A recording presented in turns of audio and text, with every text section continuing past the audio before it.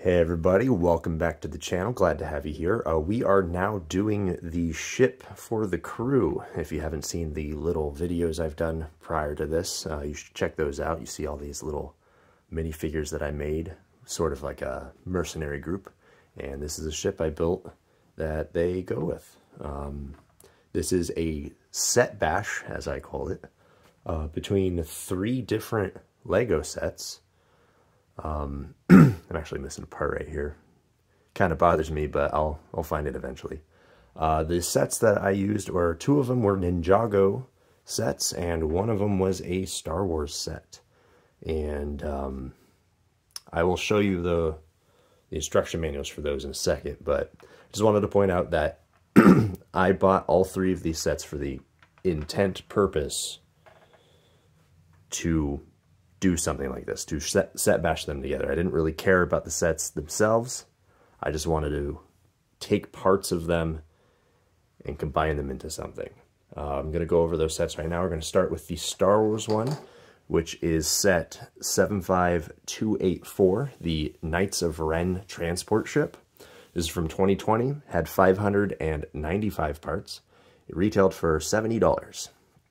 The minifigures in here are the Knights of Ren Cardo, which is about $15, only appears in this set. Kuruk, who's also $15 and only appears in the set. And then the white-robed Rey, who is $2. Not a lot of value there. She comes in four sets. Uh, then, here are the figures. The Knights of Ren, nicely printed, you know, very detailed bodies. And uh, yeah, you can. The thing about the Knights of Ren, each of them only come in a single set. And so they kind of put those behind a, a, paywall. And then Rey, you know, just Rey. Uh, kind of a unique hair piece there.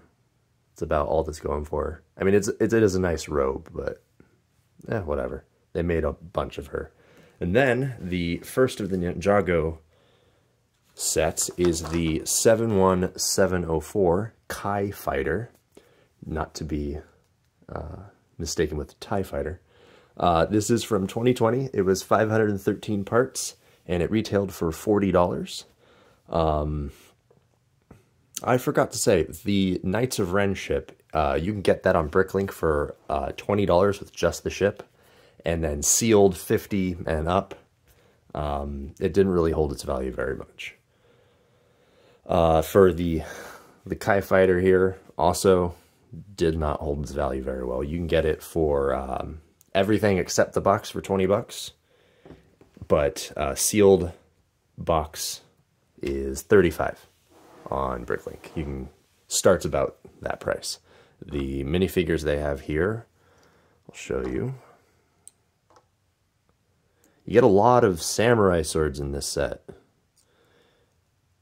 Uh, we have Kai.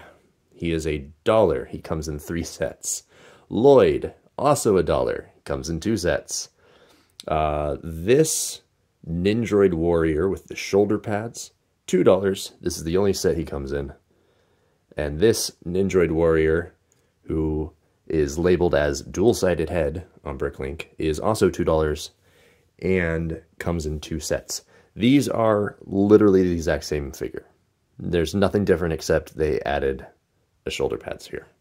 And you actually get two with this set, so technically they're not unique. You get two of them. Uh, yeah, those don't have any value, basically, at all. Uh, and then the third set is the 71736 Boulder Blaster. Uh, this one came out the year after in 2021, had 449 parts and retailed for $40. Um, you can get this used for about $30. It's mostly complete. Uh, or sealed for 35 So if you want to get it, just pay an extra five bucks to get it sealed.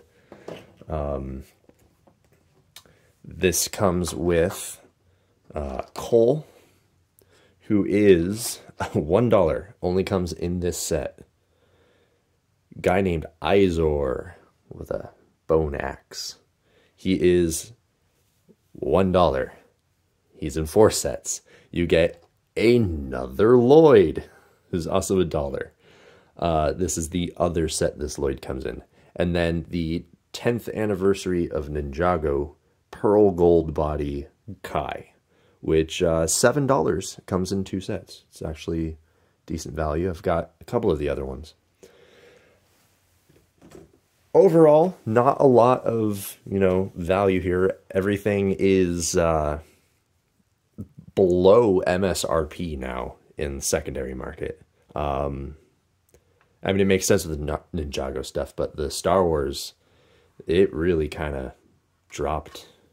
You can get a sealed one for 50 bucks when it came out originally at 70. Like, not a good showing for that.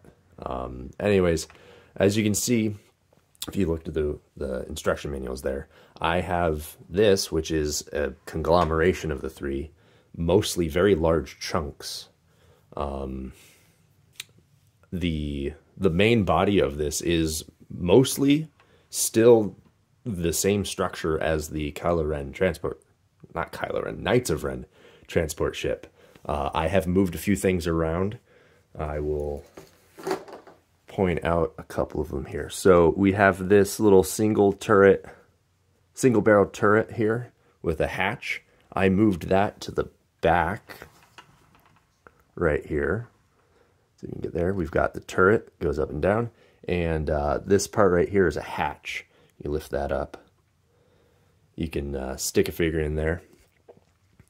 Then we have the other hatch, which is down here, has two barrels on the turret. That one I moved up to the very front here. You've got the moving turret. You have the hatch still. Um, you see right here, uh, all this was on a kind of like a opening. It's a trap door. I have that still. You can see here you've got the uh, the one by one round studs. Same with that, except uh, I tiled this over and flipped it around and it lifts forward. I think. Actually, no, it might have might have lifted back. I'm not sure. It's been a, quite some time. Um, these engines here, I have them here flipped upside down. Well, not really upside down, but like instead of downwards, they're upwards. It is the exact same build. I did not change these very much, if at all. Pretty sure I didn't change them at all. Um, these right here, I actually moved those up to the front. These panels are basically the same. I essentially I just took everything, kind of flipped it around, moved it forward and back, and uh, the grill here on the bottom, I'll show you later, but here it is tipped downwards. I flipped it over and canted it up. Um, then once I'll, I'll flip this over and show you, but we've got these like tubes here, and those I also flipped around. Um, they're a little twisted. It was a little hard to get these to go in there because I had to expand this a little bit. I'll show you here. So these uh,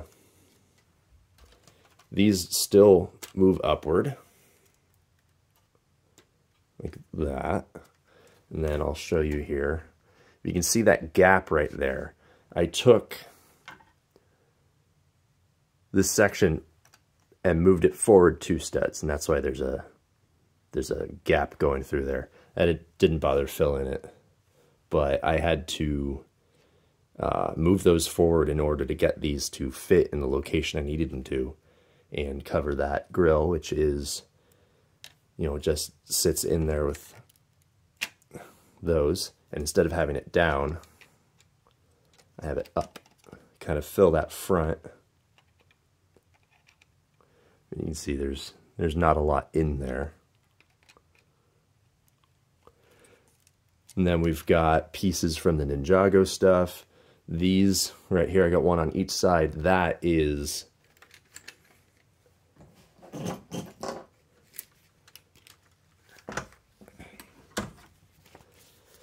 You can see it right here next to the center here. It's that chunk that kind of a panel, and I just turned it, stuck it on the side. Um, I ended up with a lot of big chunks of these sets still, except maybe the uh, the transport, because I used most of that. But the, the Ninjago ones, I have big chunks of them still. Like over here, the whole front assembly of the, the, the boulder blaster. I didn't have a use for that, but goes in there. You have a, uh, some Technic parts in there, it secures it. And that panel I was just talking about goes right here. It's one on each side. I took those off, flipped them over, slapped them on, put a piece from the Kai Fighter onto the front, and that makes the front end there.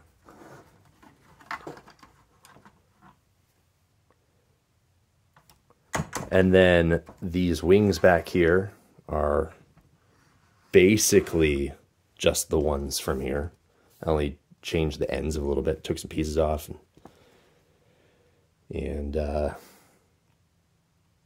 that's about it from this, except some pieces to fill in parts, like this back here. That comes off of here. You can see it right there in the back. Um, the Kai Blaster, not Kai Blaster, I'm mixing these together. The Kai Fighter, you can see that I used a lot of this for like the accents here in the back, all on the sides and everything. Um, these back parts of these wings. It was on a mechanism. You can uh, move that up and down, and the wings would, you know, kind of slide forward and slide back. Um, got rid of that mechanism and attached them to here. Sort of just along the side of this part right here. And it's basically, I mean, you can see, just flip those around, slapped it on, make something completely new out of these. And um, we got these here, know, little green there, red there, kind of like airplanes. They had that on the Boulder Blaster. Um, what else can I talk about here? Uh, ba ba ba ba ba. Little things over here, just extra details and stuff. There's uh, there's no really, not really any moving parts here except for these um, the hatches and and that. Um, as far as like my head canon goes, this is actually quite a large ship because I've got a crew of like what six, seven people in it. So it's it's a lot bigger than you would expect. Just kind of shrunk down due to uh, size constraints, stuff like that. Um, you've got the landing gear. Here's the bottom of it. Added that in there just for splash of color, I think, or just to fill it in. I don't know, I was just sort of just slapping things together and saw what worked. And it came out pretty good. I mean, you can see here, these are the, uh, uh, I think those are the attachments that, oh no, they already have those. So I literally just took the wing off, slapped it on there, secured it in place. Up here, I don't, I'm not sure where I got those pieces from, but same with that, just took the wing, slapped it on you know, kept kept the pieces it was connected to. Most of the landing gear is all in the same plot place. And, you know, you don't have to be like a super genius. You just got to have some imagination. And you can put them together. Um, but back to the head. This is the ship they go around in. I, I like to think this is like the access to the cargo hold. You know, like full-size cargo hold. And then you've got your hatches, you know, they could dock on it with small shuttles or whatever and and uh, if if I had more parts more time I could have made this as like a front landing bay not landing bay uh, like a front hatch or a uh, a main ramp. Uh, I don't really have like a set area for the cockpit.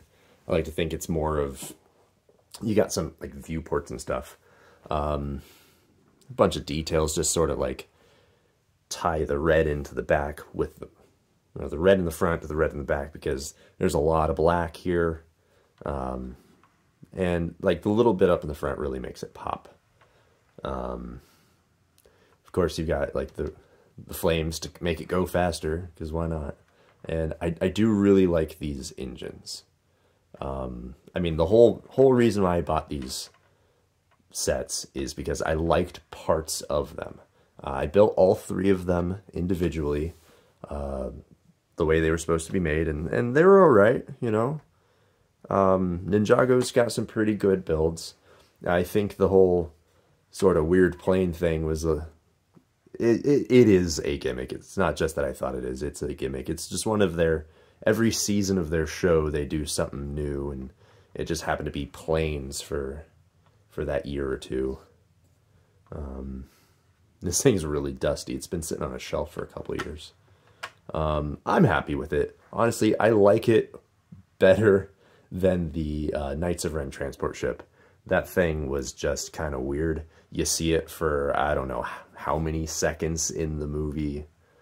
Uh, the characters were not well used. They were just boogeymen, basically. And I had no emotional connection to the ship whatsoever because they, they don't show you anything in the movie. But, I mean, if I keep going on that, it's going to be a couple hours before I stop. Um, but I'm I'm very happy with how this came together.